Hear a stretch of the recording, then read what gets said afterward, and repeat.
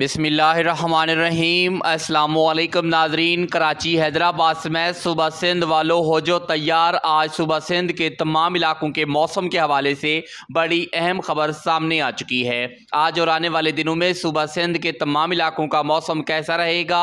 कहाँ कहाँ गर चमक, तेज हवाओं और आंधियों के साथ बारिशों के इम्कान होंगे?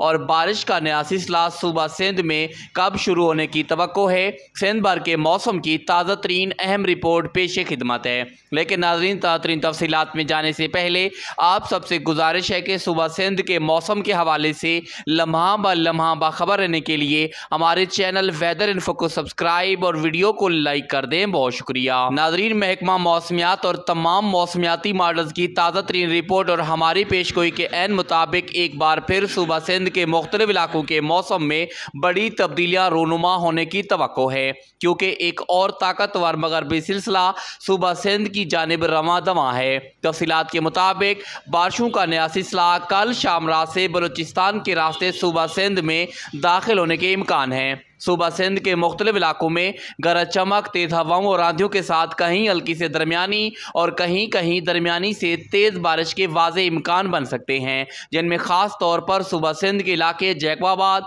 शादात कोट शिकारपुर, कंदकोट, दादू, जोही, मोरो, लाड़काना, सखर, कश्मोर नुशरफरोज नवाब शाह, सांगड़, हाला, शादातपुर, हैदराबाद, जामशोरो, कराची, मीरपुर ख़ास, उमरकोट समेत दीगर मुख्तलिफ़ इलाके शदीद बारिशों की जद में आ सकते हैं। बाज़ इलाकों में इस दौरान तेज़ हवाओं और आंधियों के साथ बारिश, जबकि बाद इलाकों में बारिश के साथ साथ ज्वालाबारी के भी खतरात लाक हो सकते हैं। इसलिए जितना ज़्यादा हो सके एहतियात करें। याद रहे, नाजरीन के बारिश का ये सिलसिला वक्फे वक्फे से 15 अप्रैल की सुबह तक सुबह सिंध के मुख्तलिफ़ इलाकों को मुतासर करता रहेगा।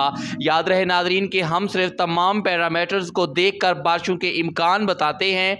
बाकी बारिशों का होना या ना होना, वो अल्लाह पाक के हुक्म पर मौकूफ़ है। मज़ीद मौसम के हवाले से, बारिशों के हवाले से जैसे जैसे अपडेट्स आती रहेंगी, आप तक पहुँचाते रहेंगे। तब तक के लिए आप देखते रहिए हमारा चैनल वेदर इन्फो।